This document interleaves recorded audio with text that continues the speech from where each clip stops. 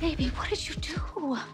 I'm afraid that your heart is breaking. She's cleaning up your mess. I made a lot of mistakes, and I hurt a lot of people that I care about. Torn apart by the demons that you hide.